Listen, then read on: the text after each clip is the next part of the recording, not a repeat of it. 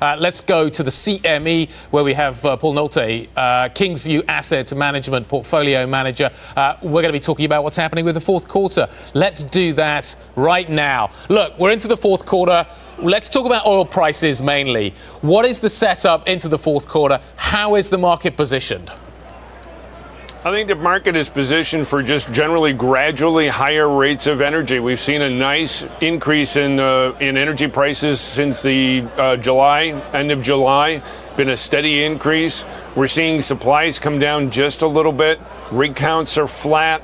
Uh, the refinery capacity has dropped a little bit here too. So I think the supply issue is going to uh, allow prices to carry higher into the fourth quarter. Paul, are we going to get to 100? Are we going to get to 100 on Brent?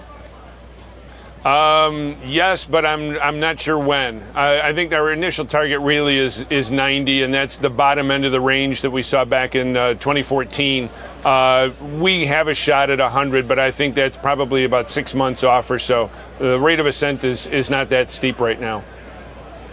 In terms of the kind of the the out of the money stuff. Where are how far how far up are people positioning? I, if, if, I think that oil prices are going higher, if, if I want to buy some out of the money calls on on energy assets, kind of where is where is the market beginning to cluster?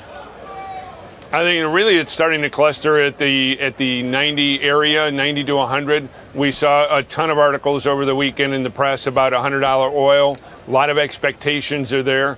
Uh, we're seeing some of the option pricing is is at the $100 level as well, but it's well out uh, mid-year next year. So again, the the expectation is that we get to 100. I think the disappointment might be that as as we all know with energy prices, when they start going up, supply starts showing up.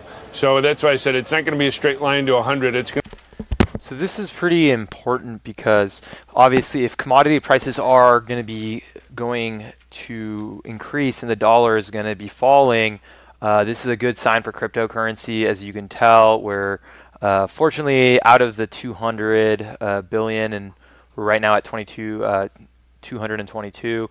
So uh, if this trend continues, crypto prices should slowly tick back up, but I don't see really a large flood to crypto assets.